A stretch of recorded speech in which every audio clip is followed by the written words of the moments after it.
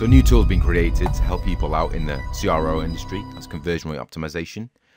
Specifically, the example I'm going to use is going to be using Visual Website Optimizer, but this tool will work with Optimizely and other tools that use custom variables.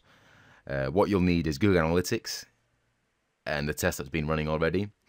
And what this tool does essentially is rather than me uh, in Google Analytics looking at the differences between the control and the variation, and then calculating the percentage difference, uh, which one caused give me more goals and things like that.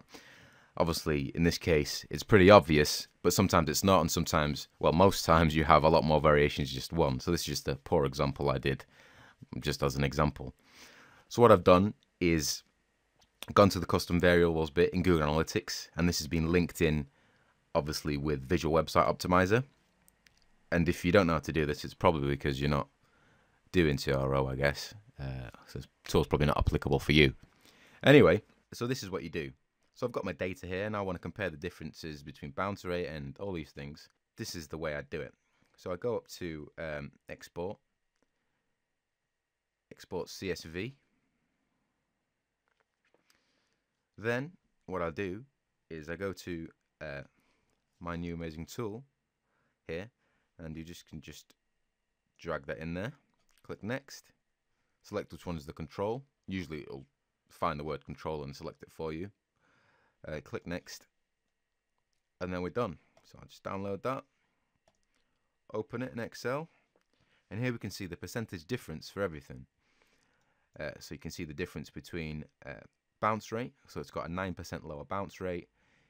Uh, people view 20% more visits.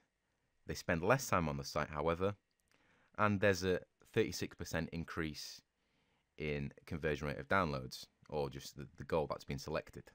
It's quite boring though, so I'll, I'll, put something slightly more interesting in there than this one. Uh, so here's one I exported earlier. E-commerce website. As you can see, it selected the control already straight away. Click next. Done. Download and then here we can see uh, the difference in sort of e-commerce conversion rate as well. Uh, so we can see here is a clear winner at the moment. We can see, um, yeah, everything everything's still working, and this will probably save you a lot of time and allow you to analyze your data quickly and find out the percentage difference in your in your cost in your variations much quicker than if you were to do it by hand or use you know some clever Excel formulas. I hope hope you find it useful. Please share this on your Twitter and things like that and Google Plus. And if you've got any problems, just go to beamusup.com and I'll be more than willing to help you out. Thank you.